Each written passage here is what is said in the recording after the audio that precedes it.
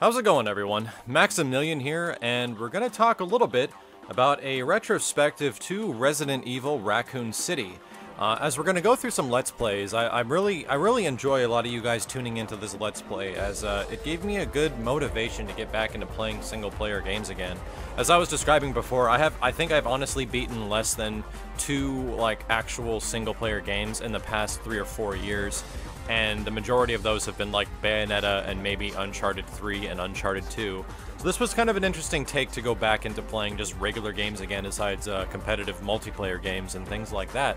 Um, but I, I kind of enjoyed it, and I enjoyed the experience, but if we're going to talk about Raccoon City and like my final thoughts of this game, uh, as you guys saw, I kind of like rushed through it. I, I but the, the, reason behind all that was I wasn't really enjoying it too much. Um, Raccoon City kind of reminded me a lot of things that had initial response and problem with when I, when I first played the game at E3 last year. I, I'd almost say the game feels identical to that one, and the problems in the old one still stand. Uh, the biggest issues, I think, that plague Raccoon City are the control, uh, the response. You don't feel powerful shooting weapons. Um, when you put multiple bullets with, you know, your dude or or girl that is essentially a badass, you know, agent that works for Umbrella and has seen the likes of everything and killed the likes of everything. When you're shooting like zombies and you you see like them soak bullets up, it makes you feel less powerful, which is where the term bullet sponge comes from. And that happens a lot in this game. Uh, you have some zombies like the weaker peon ones where you can shoot them and their arms will fly off and that feels really cool. Um, in honesty, I'd say the most fun moments, and there are fun moments in this game, but they are few and far in between, and they're essentially when you have a ton of zombies in a crowded area, and you blast them away, and you kill, like, you know, a freaking boatload of them in the span of a few seconds. But I, you can do that in any game, and it's fun, so you kind of kind of look at it like that. The biggest thing is that I played through the game single player, and this is definitely, absolutely not a game you want to play single player. Um, if we're going to talk about other co-op Resident Evil games that we can compare this to that, you know, are, are, are uh, made better by playing co-op, it's Resident Evil 5. Resident Evil 5 co-op makes the experience amazing. But I really enjoyed Resident Evil 5, and I even played through the majority of the game single player, and I really liked it. Like, Resident Evil 5 is a great action game, it's just not a survival horror game. Um, but for the sake of that, you have my perspective. I, I, think Resident Evil 2 is second best next to Resident Evil 4 for the overall like Resident Evil scale. Right after that, I'd probably put the Resident Evil remakes, like the remake of Resident Evil 1, uh, probably tied with Resident Evil 5, even though they're two totally polar opposite games. And Raccoon City, uh, you, you, I get a lot of people asking me, like, should I start playing a Resident Evil game? Like, should I start with Raccoon City? Should I get Raccoon City? Well, for you guys asking, should I start playing this game for an introduction to the Resident Evil series? Hell no. Don't do it. Uh, this is not the game for you to get introduced to Resident Evil. If you wanted that, I'd say for the newer gamer, you could start with probably Resident Evil 4. That wouldn't be too bad. It's more designed around how modern games are.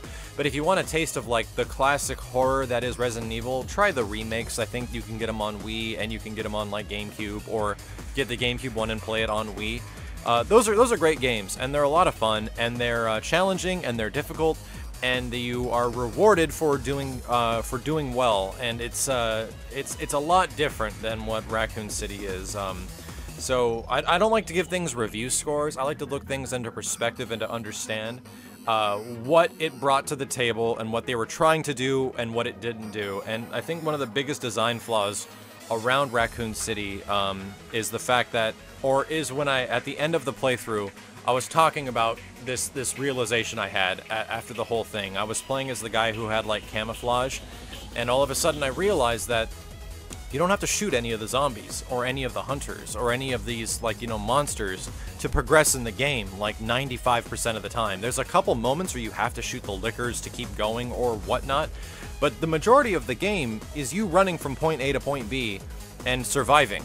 Uh, they give you a ton of ammo, like there's ammo everywhere to shoot these things, and you get experience, like figurative experience that's used to level up some guns, but you don't really feel the effects of this leveling up. Like I, I was I was buying stuff pretty consistently throughout my playthrough, and I didn't really notice the differences. Maybe that is really apparent in multiplayer, but as far as playing the single player campaign, I didn't feel a level of progression very much, and I felt that the entire game can pretty much be boiled down to running from the Umbrella logo to the next Umbrella logo, and doing that until you get to a boss, and then shooting the boss.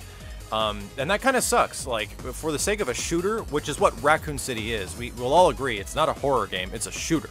It's a raw co-op shooter and because of that, the goal of the game isn't actually to shoot the enemies. Like, if you've played, I think, a much superior third-person shooter, for example, I would say Lost Planet 1 or Lost Planet 2, those games are difficult to play. They have some really weird design decisions, but they're they're good, and they make you feel powerful, and they're fun, in, in my opinion. For those games, the objective is to kill the opponents, kill your enemies around you to progress to the next part of the level, and the next part of the level, like, opens up, or something like that, or you have to get past an obstacle a lot of the time. And in Raccoon City, that's just not there. Like, the majority of the game, you can literally avoid everything and just run and finish the level. Sure, you're not going to get that much experience, but all all things considered, it was really hard to tell like what I was getting experience points wise and if it's worth it to just like hose all these zombies full of bullets. You see what I mean? It's like in Resident Evil games normally, you can avoid these fights and whatnot, but there's a lot of the time there's things you have to get out of your way, like there's monsters that drop things that you need to continue.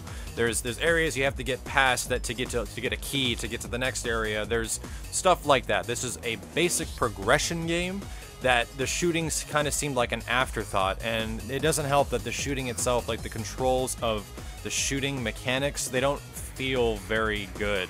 And you need to feel powerful when you have a gun in your hand playing a video game. You need to feel like you're doing damage through sound, through visuals, and Raccoon City unfortunately doesn't offer that, so no, I would not recommend this game. If you are looking for an experience new to the Resident Evil franchise, if you're a hardcore Resident Evil fan, absolutely, like, play the game. It, it, it's full of characters that you know and love. Unfortunately, they're not utilized very well in the single-player campaign, however, they are there, and the fact that they're there is pretty cool. The fact that it takes place in Raccoon City is pretty cool, but its execution is not so great. So in summary, I really appreciate you guys watching this Let's Play of Resident Evil, as I'm planning on doing more Let's Plays and playing through more single-player games and, and, sharing the experience with my subscribers, as I, I really do find it enjoyable to read the comments and see what people think of, like, me thinking oh, what I'm what I'm doing while I'm playing. Um, I think we're going to take a huge turn for the different, where I'm, I'm going to look at the next game to play, and it's probably going to be Journey, or Journey is the DLC game uh, that's available on PlayStation Network, or Asura's Wrath, which I hear is a very fun game, but it's very cutscene heavy. However, I'm, I'm looking for something that's fun and entertaining. Like when I when I think of what games are good, I kind of think it over overall entertainment value. And if I would play the game again, is there any reason I would play this game again? And I would definitely not play Raccoon City again.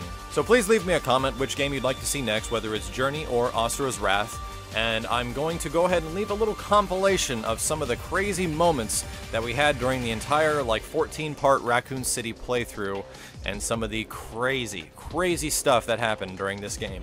Thanks for watching guys, and I'll see you on the next Yo Video Games featuring either Journey or Asura's Wrath. Take care folks. Ah, ah, ah, Ah! Okay, okay. Yeah, just jam that thing in there. That was the most precious looking neuro procedure I've ever seen. Wah! Okay, am I gonna get stuck in a loop of destruction? Yeah, I might actually. Will the game let me up? Will, will the video game let me get up? I don't know. Nope. The video game will not let me up. Yes! Resident Evil Raccoon City, everybody. Oh god. Oh, this is terrible.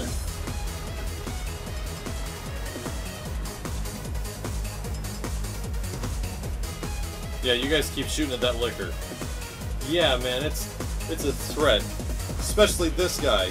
With his shotgun? Dude, he's got this! Look at this thing! It's way up there. I can't even... It doesn't even exist, but you know what? You guys are good. I'll take the rest of this game by myself. I'll see you later. Yeah, you shot him. You just jump into... Wait a minute. I... There are no words. Oh god, you guys, please, please, why? Why are you so retarded? Yo, Bertha, what you doing in the tire? Bert, get out of the tire. During a melee, you can actually uh, press like X and B and why why are you guys on fire? okay, let's just go. Why are you on fire again? God. Can I melee the balls out of her?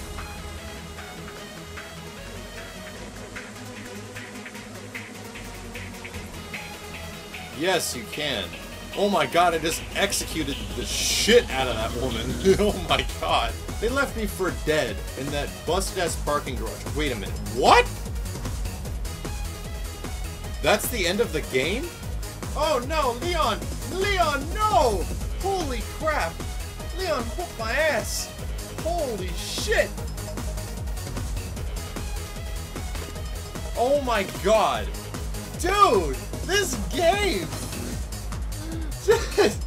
oh my god, that's the ending!